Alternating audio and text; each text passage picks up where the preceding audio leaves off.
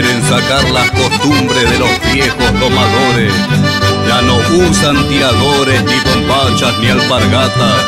Ahora usan mocasines y vaqueros tiros cortos que le quedan a esos mozos como recado a la vaca.